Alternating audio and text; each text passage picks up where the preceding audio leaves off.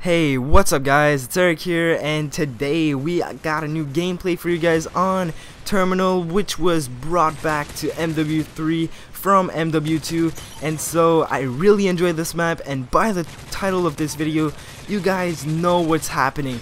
We got a Moab gameplay. So this is actually the first time um, I'm uploading a video on Terminal from MW3 and I wanted to be awesome for you guys so I decided to um, get a Moab and we will get the Moab in this video.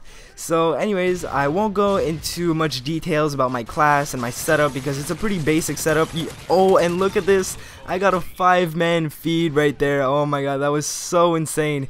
But anyways, as I was saying, um, I won't go into much details because it's a basic setup. I've probably made a video in the past with the same setup or approximately the same setup. But anyways, it's pretty basic. ACR silencer, extended mags, that's pretty much all you need. And whatever specialist bonus you want, go right ahead.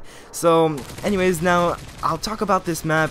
Terminal, I just really, really enjoy in general because it's so easy to get a good game. I mean, uh, I, this gameplay here is not the full one because uh, there was a host migration and I wasn't actually recording with my HD PVR at the time. I had to go in theater mode and get this. So the host migration screwed it up so I didn't have the full gameplay and I decided to only upload the Moab part of it.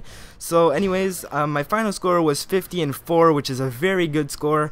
And in MW2 I still remember when we were playing domination on this map and we had C and B and the enemy only had A. They kept on spawning at A and you could just tear them up. You could just keep on spraying in that alley uh, right in front of me right now and you could just spray um, with a light machine gun and get like quads after quads after quads. And even if you had an AC-130 or a chopper gunner I mean you had at least 20 kills when you had those kill streaks up in the air and the enemy only had A so it's the it's pretty much the same thing in MW3 because when you're playing Domination, because I played Dominations a few times on this map, and uh, when they only have A, they're only spawning there, and you can tear up some crap.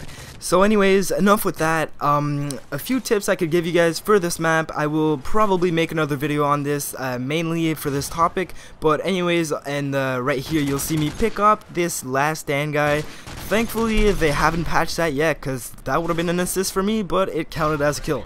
So anyways, I'm getting off topic as usual, but a few tips I could give you guys is first things first, um, avoid the plane because a lot of people, um, this is their first COD for them and they all go in the cockpit of the plane. So right now you see me, I always look at there, I have marksman on so if, if ever there was someone in that cockpit, it would uh, show up their names, and so always, always pay attention to that cockpit.